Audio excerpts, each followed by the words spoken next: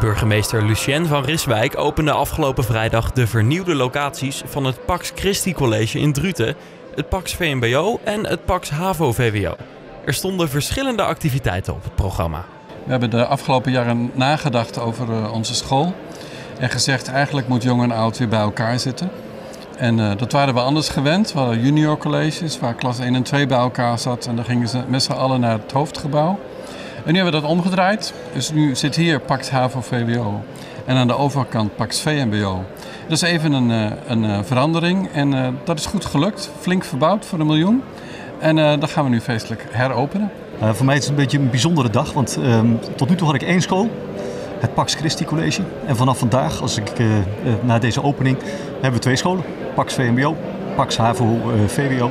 Op twee hele mooie locaties die heel mooi verbouwd zijn.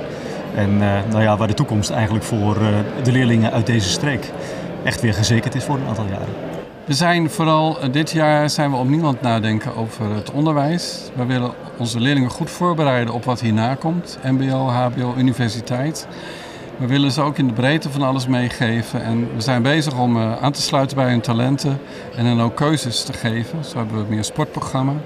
We hebben een econagium bij het VWO. Dat betekent dat ze uh, ja, zelfs naar New York gaan om even te kijken hoe het daar allemaal echt toe gaat. Zodat ze echt wat verder kijken dan alleen deze regio. Terwijl we ook in deze regio heel actief zijn. Ja, het beeld van de school wat ik heb is, is bijzonder positief. Het is een school die hier echt geworteld is in Maas en Waal. Uh, waar ook bijna alle kinderen uit uh, Druten en, en de aanpalende gemeenten naartoe gaan. Ja, en en ja, voor hun wordt gewoon de basis gelegd voor een, voor een verdere toekomst, voor de vervolgopleidingen die ze ergens anders gaan, gaan doen. Dus het is, het is echt een uitstekende school.